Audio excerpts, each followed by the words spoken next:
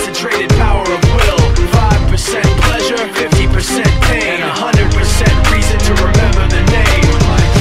He doesn't need his name up in lights, he just wants to be heard, whether it's the beat of the mic. He feels so unlike everybody else, alone, in spite of the fact that some people still think that they know him, but fuck him, he knows the code. It's not about the salary, it's all about reality and making some noise, making a story, making sure his click stays up. That means when he puts it down, Tox picking it up. Let's go. Who the hell is he anyway? He never really talks much, never concerned with status, but still even him starstruck. Humble through opportunities given despite the fact that many misjudge him cause he makes a living from writing raps. Put it together himself, got a picture connects, never asking for someone's help or to get some respect. He's only focused on what he wrote, his will is beyond reach, and now it all unfolds the skill of an artist. This is 20% skill, 80% beer, be 100% clear, cause Ryu was ill. Who would've thought he'd be the one that set the West in flames? And I heard him wreck it with the crystal method, name of the game. Came back, dropped Megadeth, took him to church. I like Bleach, man. Ryu had the stupidest verse, this dude is the truth. Now everybody giving them guest spots and stocks through the roof. I heard he fucking with that This is 10% luck,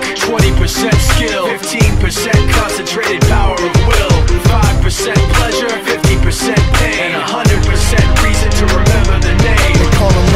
sick and he's spitting fire and Mike got him out the dryer, he's hot. Found him in Fort Minor with top, but a fucking nihilist porcupine. He's a prick, he's a cop. The type women wanna be within rappers, hope he gets shot. Eight years in the making, patiently waiting to blow. Now the record with notice taking over the globe. He's got a partner in crime, his shit is equally dope. You won't believe the kind of shit that comes out of this kid's throat. top.